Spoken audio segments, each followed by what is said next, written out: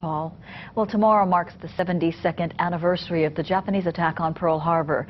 Anyone who was alive in Hawaii on December 7, 1941, knows right where they were when it happened. And tonight we talk with a former UH president about his memories of that day.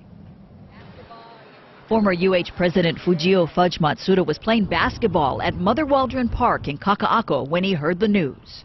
Well, my sister, who worked at the advertiser at that time, came to call me and say, you better come home, there's a war going on. And I argued with her, how can that be? you know, young, know-it-all. Matsuda lived just across the park where his family ran a Saimin stand. From their neighborhood, he saw the attack, thinking at first it was just an exercise. I could see planes flying and puffs of uh, anti-aircraft uh, shells.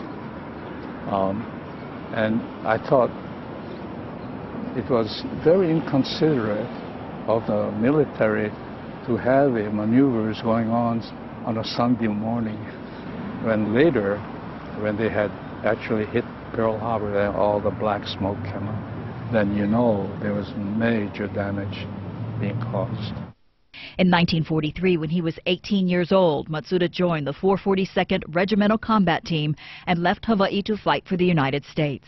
The Field Artillery Observation Battalion would take him to battles throughout Europe, mainly in France and Germany. And when Matsuda came home, he got his civil engineering degree under the GI Bill, later becoming the president of the University of Hawaii.